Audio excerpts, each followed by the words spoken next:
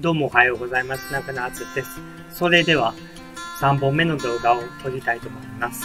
3本目は、当選回数について話したいと思います。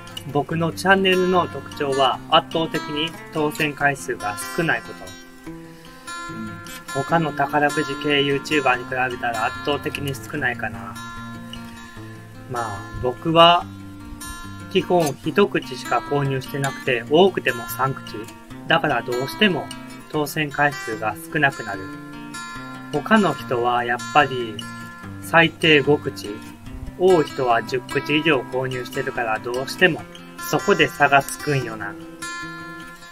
ただ、高額当選となったら話は別で、多分一番最初に高額当選できるんじゃないかなって正直思ってます。まあ、その理由もちゃんとあって、高額当選の確率が高い数字並びみたいなのがロト6にはあって、うん。それで、その数字が来たら次はこのパターンが来るっていうのがあるんよな、ロト6って。うんだから、それをし続けたら、必然と高額当選できるんじゃないかなって思ってます。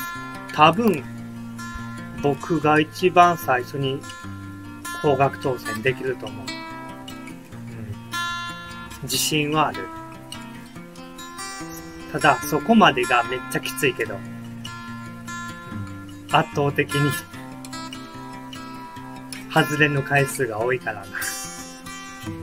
これが僕のチャンネルの特徴かな。それではまた後で動画を撮りたいと思います。よかったらチャンネル登録お願いします。ご視聴いただきありがとうございました。